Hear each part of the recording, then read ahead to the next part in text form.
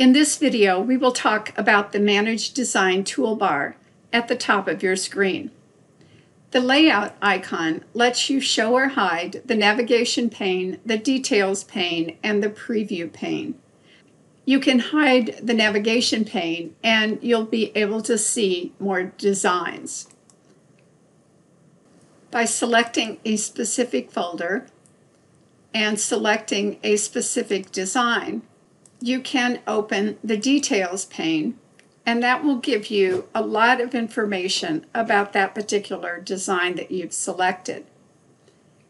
The preview pane will give you basic information about the design such as the width, height, number of stitches, number of colors, and the design grade. If you wish to hide that, just uncheck the preview pane. Keyboard Design Collection will open the Keyboard Design Collection Docker. And this is used to easily map any alphabet collections that you have on your computer. That will be covered in a later video. The Change View icon will choose how you are viewing the designs on the display screen.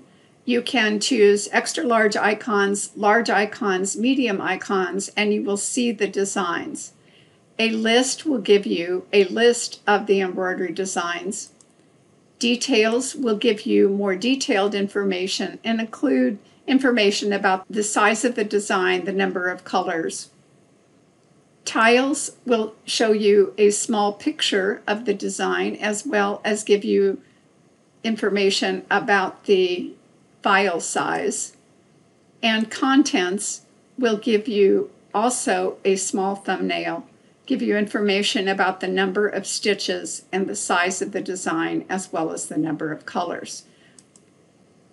The group by category will let you choose the type of filter. You can have none selected, you can have the designs organized by folder, by file name, file type, or the date they were modified. You can also choose ascending or descending order.